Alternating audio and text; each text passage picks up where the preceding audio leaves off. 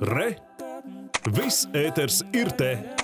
Piena pārstrādes uzņēmumi brīdina par strauju izēvielu cenu pieaugumu un lūdz valstis samazināt pievienotās vērtības nodokļu likmi pārtikai. Nozara uzskata, ka pretējā gadījumā piena produktus iedzīvotāji drīz vairs nevarēs atļauties.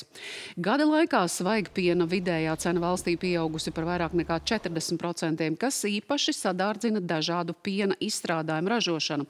Ārkārtas kongresā Latvijas piensaimnieku centrālā savienība amatpersonas brīdināja, ka šobrīd daļa piena pārstrādes pārstrādes uzņēmumu strādā ar zaudējumiem, tādēļ atbalsts ir nepieciešams steidzami.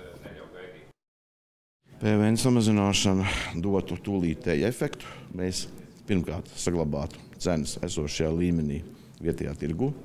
Otkārt, mūsu uzņēmumiem būtu iespēja paaugstināt cenas vismaz par 10% un tās ne, palikt nemainīgas tirgu, kas savukārt uzņēmumiem dot iespēju kādu laiku izturēt šo ikdienas cenu spiedienu un izmaksu spiedienu.